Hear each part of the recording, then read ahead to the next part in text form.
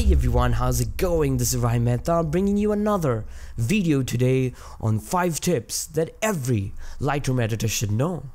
Now the reason I decided to do these particular 5 tips is that when I was starting out, I did not know these for the longest time.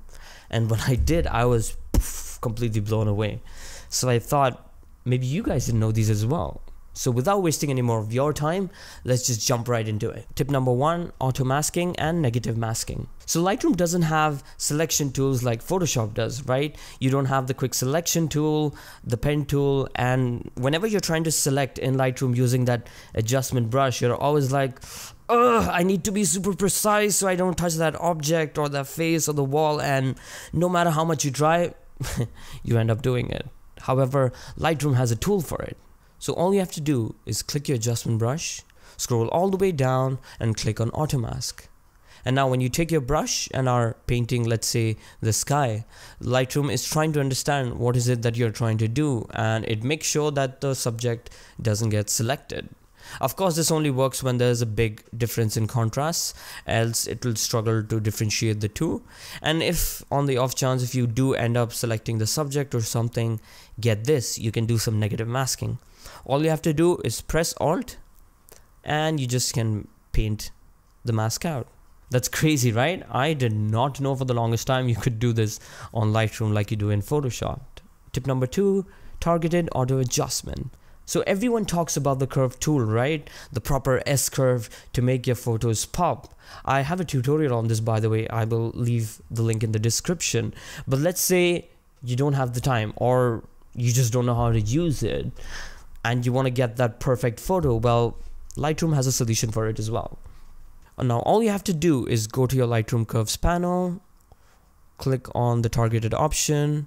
Now you can move your cursor to a certain part of the image, you can click and drag your mouse up and down to tweak the different midtones, shadows, and highlights in a relative matter. And that's about it. Tip number three, autotone. Let's just say you're just starting out. You don't really know how to use Lightroom or how exactly do you get started? Or let's just say that you have a batch of photos to edit. The simple copy paste is not working and your clients are like i need the photos today. And you're like what should i do?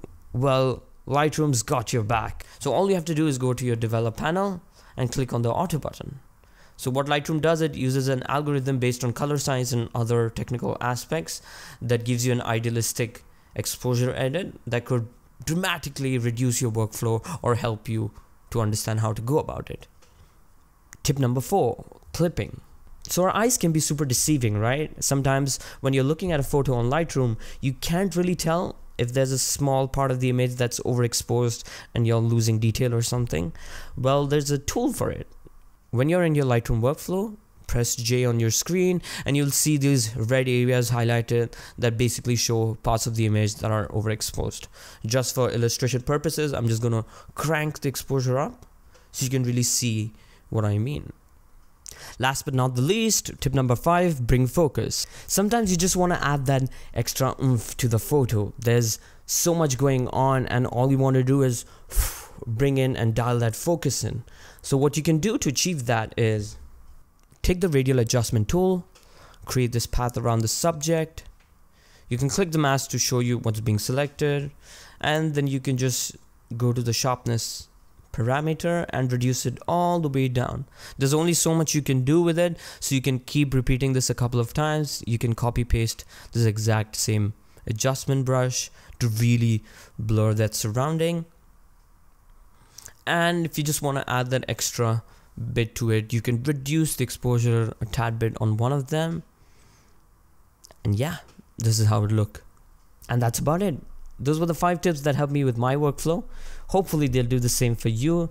Please let me know in the comment section below what did you guys think of this video. If you liked anything i said please subscribe to my channel drop me a like follow me on instagram and i shall see you guys next time. Take care